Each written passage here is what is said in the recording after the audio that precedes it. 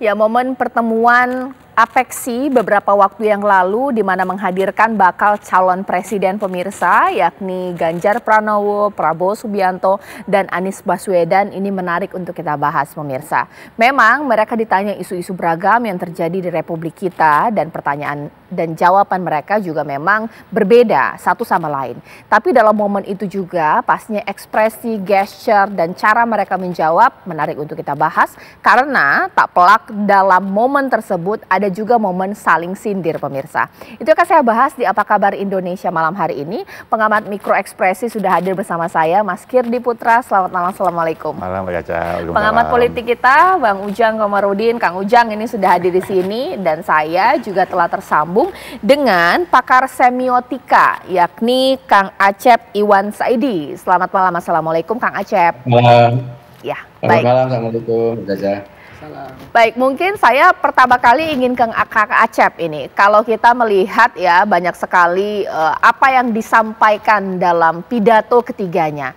Sekiranya apa sih yang bisa kita kutip dan kita ambil dari jawaban mereka diberikan pertanyaan yang sama, tapi cara mereka jawab, pemilihan kata ini sangat berbeda. Seperti apa, Kang Acep?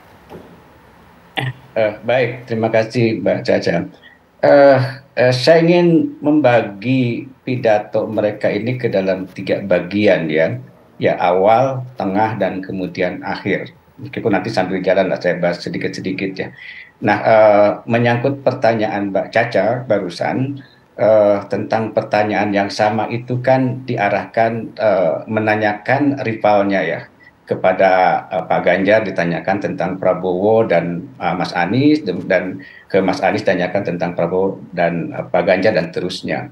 Dan kita lihat memang uh, jawaban mereka spontan ya uh, saya kira itu juga akan menunjukkan uh, karakter dan uh, pemahaman dan uh, apa namanya uh, uh, pengenalan dia dan kedekatan dia satu sama lain ya. Kita bisa melihat itu. Yang menarik adalah di antara ketiganya tidak ada yang mengatakan bahwa misalnya Pak Ganjar mengatakan uh, satu kata tentang Mas Anies capres tidak begitu kan. Jadi dari tiga-tiganya tidak ada yang mengatakan bahwa salah satunya itu adalah calon presiden ya. Uh, tapi lebih kepada misalnya profesi gubernur, kemudian teman, sahabat. Nah, saya kira ini merupakan satu uh, uh, penanda indeksikal dalam semiotika uh, Pierce bahwa uh, memang mereka uh, sedang menunjukkan uh, satu sikap yang mungkin akan dibaca, akan dibaca oleh publik bahwa tidak ada konflik di antara mereka ya sehingga pilihan-pilihan jawaban itu lebih kepada pilihan-pilihan yang sifatnya personal, diplomatis dan seterusnya ya. Uh, meskipun yang menarik sebetulnya di bagian awal itu uh, ada perlakuan yang agak berbeda ya pada ketiga itu. Ini sebenarnya lebih kepada afeksinya ya pada panitianya. Misalnya uh, Ganjar itu dipakaikan topinya di panggung ya, ikat kepalanya itu di panggung. Sementara uh, apa namanya uh, Pak Prabowo dan Mas Anies itu tidak di panggung, uh, dia ke panggung sudah memakaikan itu. Nah ini kan suatu tanda yang cukup menarik. Uh, saya tidak uh, apa uh, ingin mengatakan bahwa ini disengaja ya, tapi bahwa dalam satu acara yang dilakukan oleh uh, wali kota yang tentu menurut saya sudah ter apa ada protokolernya gitu ya.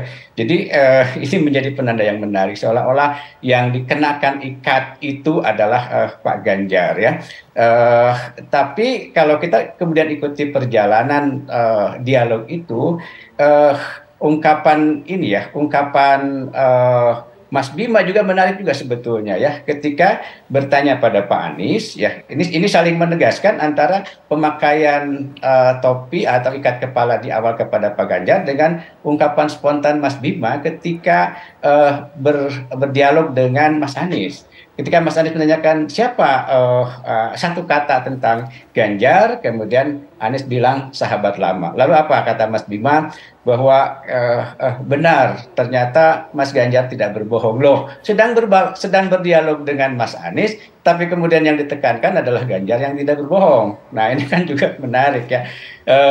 Hal-hal uh, di awal pembukaan yang uh, apa di pembukaan pidato ini yang cukup menarik. Satu hal mungkin yang ingin saya sampaikan di awal ini adalah apa yang disampaikan oleh Anies Baswedan ketika memulai uh, apa namanya uh, pidatonya. Beliau mengucapkan hanya Assalamualaikum warahmatullahi wabarakatuh.